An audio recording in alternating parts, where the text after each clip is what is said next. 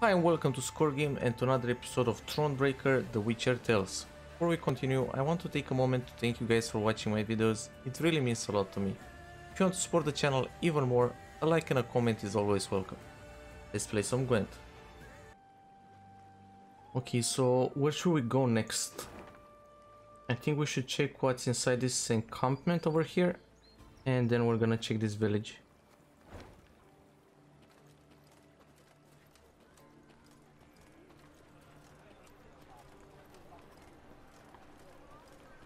Something is going on here. Hello guys. Just gonna take your resources and leave.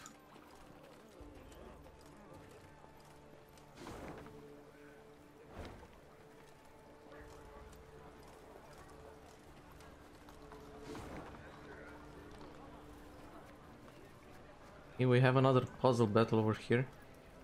And point of interest. The Nilfgaardian invasion necessitated certain steps.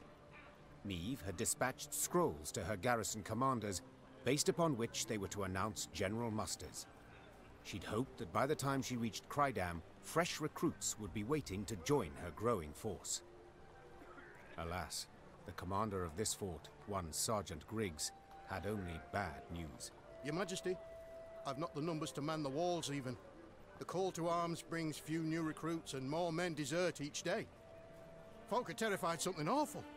They don't believe in victory. Make a speech. Press townsmen into service. Offer more soldiers pay. They don't believe in victory? The queen rose from behind the table, toppling her chair. Then let them hear how I smashed the Blackclads at Dravograd. Quick as can be, the commander gathered all Krydam's inhabitants in the central square. Meve stepped out in front of the crowd and recounted her most recent victory. The folk of Krydam listened with bated breath. And so, we must stand together. Fight, arm in arm. Be a wall. A wall against which black-clad hordes will be dashed. The townsfolk responded with thunderous applause, yet enthusiasm is rarely long-lived. That born of Meve's fiery words had dispersed after but a few days. No new volunteers joined the garrison, and the townsfolk hid from Sergeant Griggs to avoid being pressed into service. Neither the towns nor the Queen's own company were reinforced, and Meve left Krydam angry as a wasp. Okay then. But how is my morale high? If I left angry. Pretty weird. I guess because I made that speech. But apparently that was the wrong choice. I should have gave them money. I don't know, give, giving them money doesn't really solve anything. They could just take the money and desert. No will to the common folk. No will, no spirit at all. I mean, if they don't believe in victory, giving them money won't make them believe in victory. No will to fight amongst the common folk. No will, no spirit at all. A dragon! A live one, seen it with my own eyes.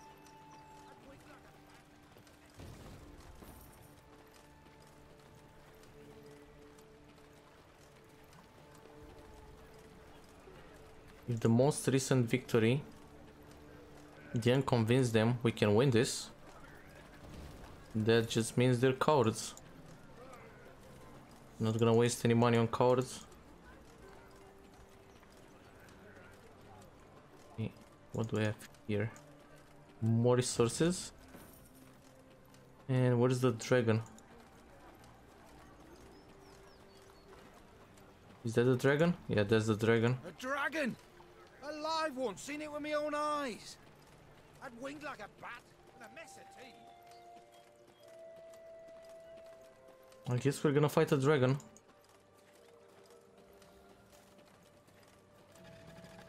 This doesn't really look like a dragon. More like a wyvern or something. Yeah, this totally doesn't look like a dragon. The Serpent of Forgate. The wyvern that prowled the fields of Forgate was first spotted by Malek, a local halfwit. He has been busy carving obscene words into a birch stump by the roadside when the draconid suddenly pierced the clouds above him. After hastily and ineffectually cleaning his soiled trousers with a fern leaf, he rushed to the village to warn the others of the vicious beast's presence. He killed the wyvern. If there are no cows left, lose the battle. And only one round.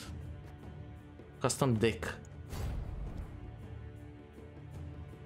Okay, protect the cows. Kill the wyvern. Easy enough. Hopefully. Every two turns on turn start consume a random cow. Imagine a cross between a winged snake and a nightmare. Wyverns are worse. A winged snake and a nightmare. So every two turns he consumes a cow, so we need to kill it in like five, uh, 10 turns? Okay, we have uh, Wagenburgs, Arbalists that aren't uh, really leveled up. War Wagon and Reynard. I mean, we're obviously gonna play Wagenburgs first, right? Oh my god, but Wagenburgs also target the cows. So what? I need to be lucky? I don't have Meve's ability.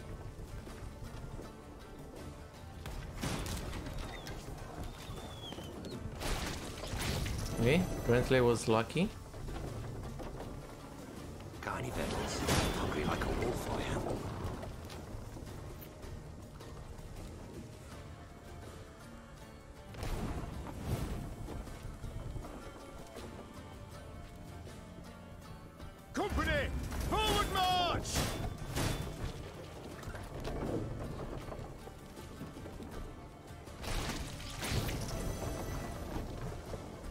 Give me a time.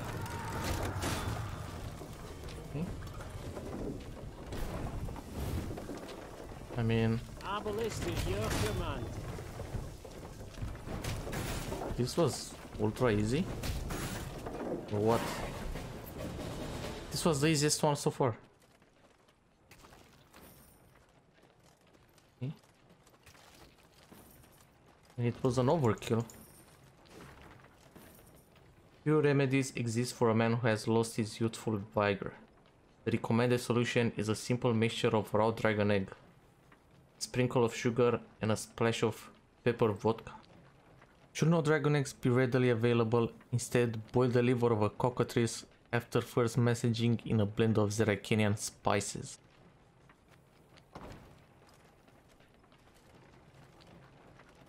Okay, nothing else around here.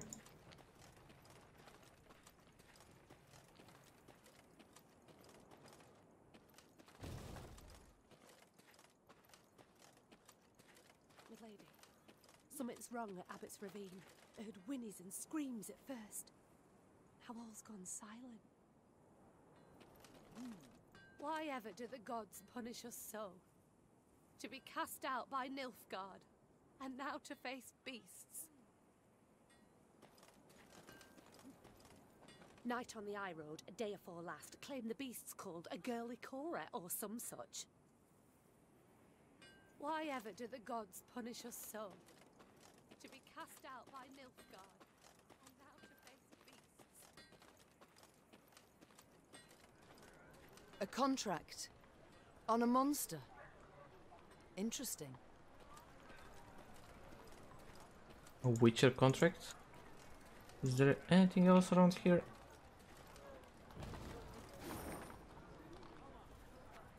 Uh, apparently I missed a loot.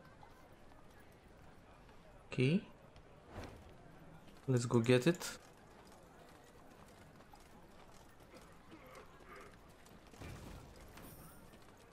I guess that's it.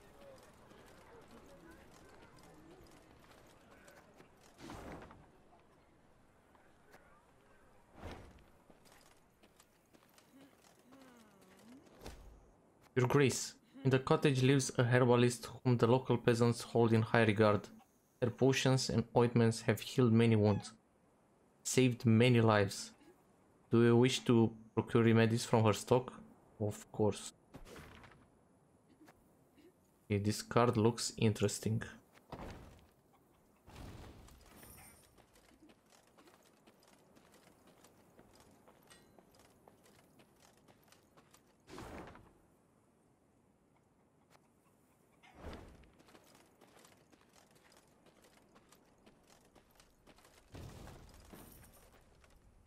Okay, we're gonna fight a, a monster in that area or something.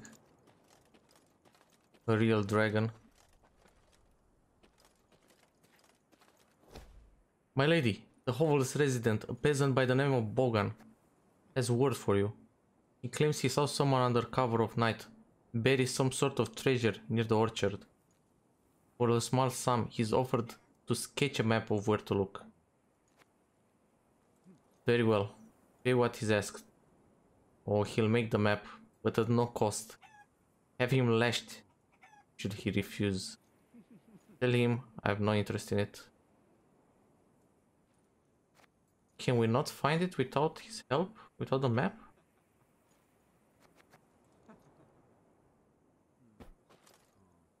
Let's see if we can find it without his map.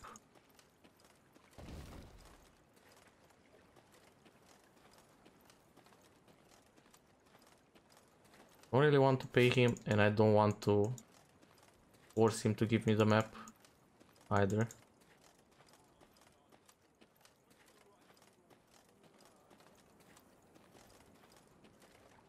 Wait, how do I go here? Oh.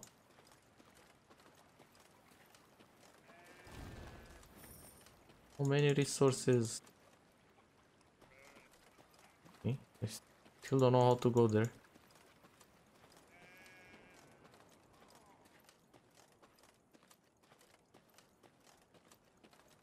Maybe through here? Yeah, there we go.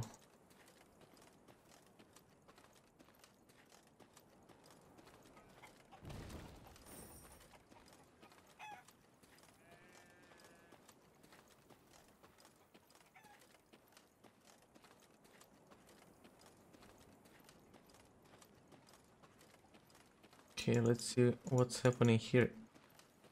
As Meve and Company traversed the ruddy meadows, strident voices reached their ears.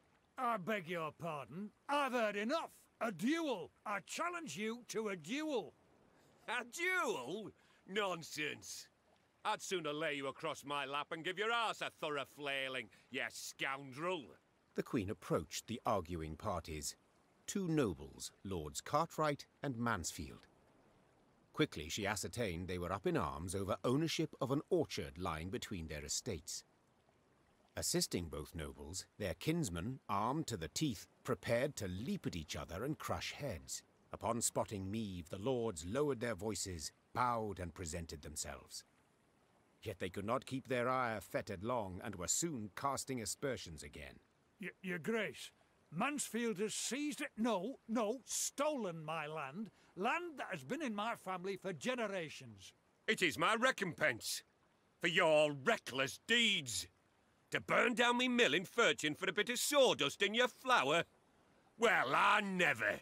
A bit? A bit? Oh, let me at him. Farmhands taken ill, cooks feverish, all from that manure. You are a fraud, sir. A fraud and a thief. Though she faced the not at all trifling matter of the Nilfgaardian invasion, Meve agreed to settle the dispute. Reynard, who knew the history of every Lyrian and Rivian family seven generations back, served as her advisor. No doubt I would find for the Cartwrights. They are in the right here, as regards the title to the land. Yet your grace must consider. The Mansfields have ever served the crown and never delayed payment of tribute. Whereas the Cartwrights... The Cartwrights are litigious charlatans who owe the royal treasury thousands, many thousands. Oh shit. But the most impressive uh, thing is that Reynard knows the history of every Lyrian and Rivian family seven generations back. That's crazy. That's, that's impossible. Let Cartwright keep the orchard, grant Marcy the orchard, order the orchard to be divided. Well, we're obviously gonna give it to to Manfield because he serves the crown, never delay payment, and these guys are the other one is a charlatan. And let's not forget that Cartwright also burned uh, Manfield's mill. The orchard must go to the vassal unburdened by debt. This is what I prefer. said Meve. Thus I declare it Mansfield's. But the law clearly says I am the law, Cartwright. Lord Cartwright moved to debate the matter further, but a snort from Reynard reminded him he stood before his liege. Mansfield, content, made an ample contribution to bolster Meve's force and the realm's defense. so you see, my dear Cartwright, justice has been served. You shouldn't be that happy, bro. He's gonna try to kill you. so you see, my dear Cartwright, justice has been served.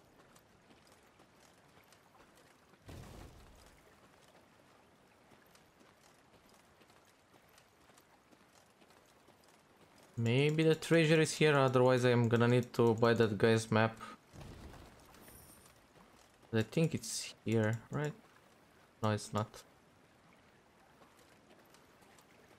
Ah, I think I can find the treasure if I don't buy the map.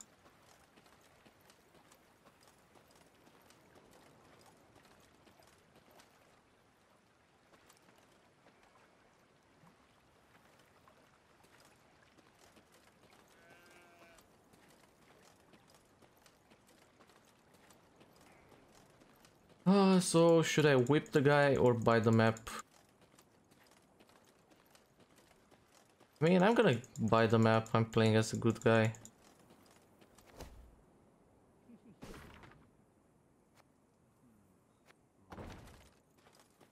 Where is that?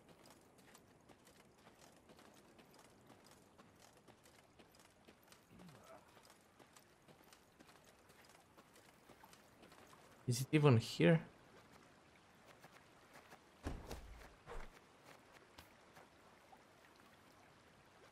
Uh, A tree with two rocks and two benches or whatever these are.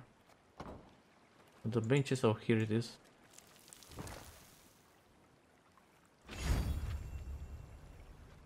An avatar. Oh.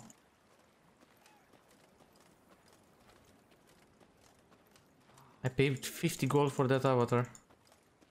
That I'm probably never gonna use. You think I have like infinite gold?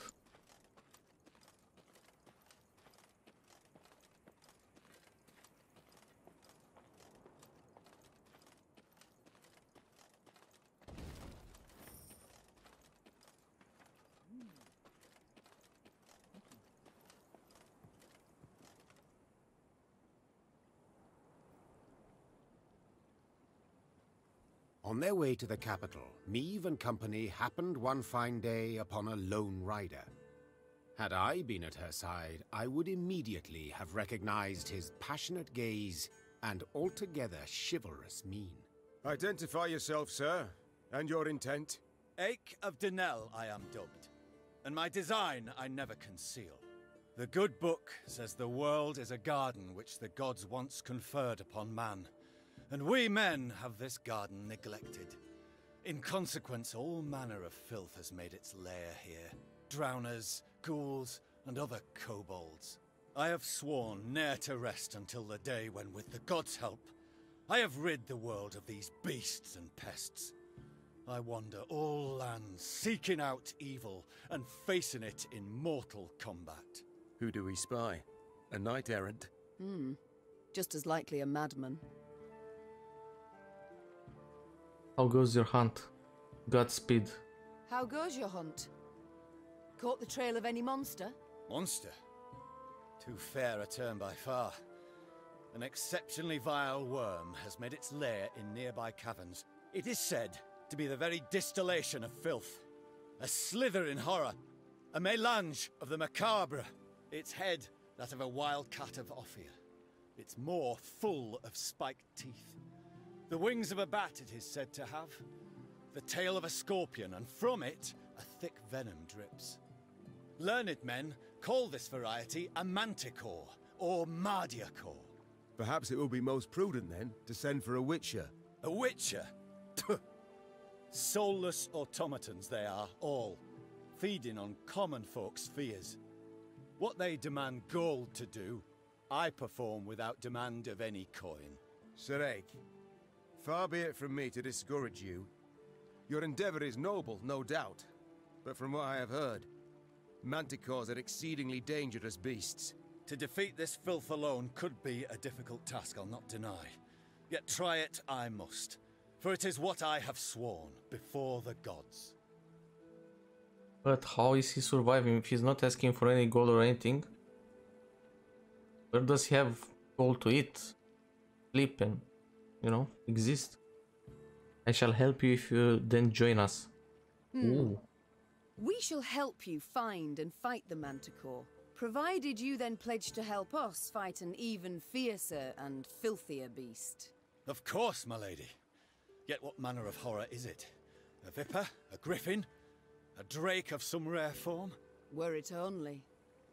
Tis a beast of a thousand heads, covered in black armor, its fire consuming whole villages. Noble lady. I know Bestia is only in parts, yet I've seen some of the world, and never have I heard of such a terror. You need but look about you, and spot Nilfgaard's legions. Devastating.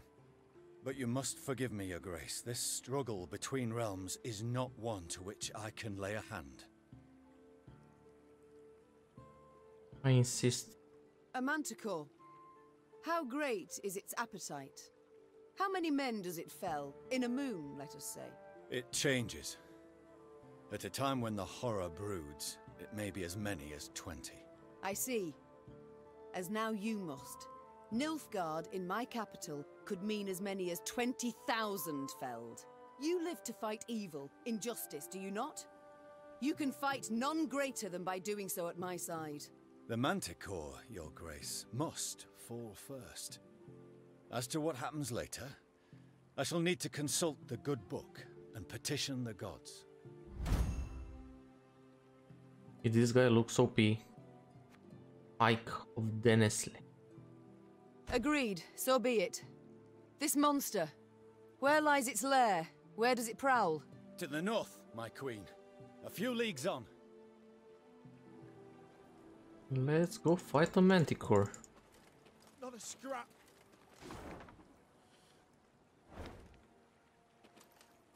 A whole village. Just one big grave now. Hallowed, Mother. Look upon these stricken souls what suffered evil. Protect. Wait, but is he in my deck? Or should I put him in the deck?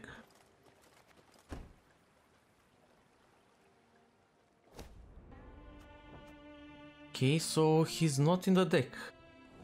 Let's check him out. Oh my god. What's going on here? Whenever an ally takes damage, strengthen self by 1. And he has 7 power. Not bad. And what's happening here? Eyck Fury Human, if battling monsters.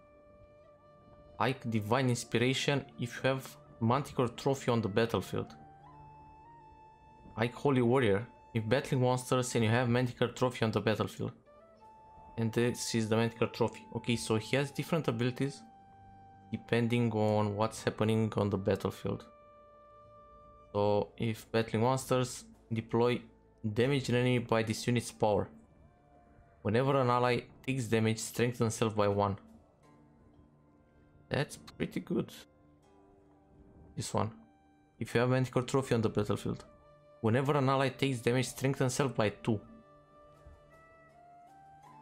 I think I like this one more. So let me understand. If I have Manticore Trophy, he's gonna change into this. And he's not gonna have his deployability, right? Even if we're battling monsters. So if you if we're battling monsters and we have the trophy, he's actually gonna change into this one. Deploy damage enemy by this unit's power. Whenever an ally takes damage, strengthen self by 2. Okay, so this is the best one. Okay, so this one is just in case we're not battling monsters. But we need a trophy. And the trophy, whenever an enemy appears on the battlefield, da uh, damage it at random by 1 or 2. Order move to the other row. This is a complicated card, to say the least. This is going to be the end for this episode. Thanks a lot for watching. Leave a like if you enjoyed the video. You can ask me anything you want in the comments. I answer to every single comment. Subscribe and hit the bell for more Thronebreaker. And hopefully I'll see you in the next one. Peace.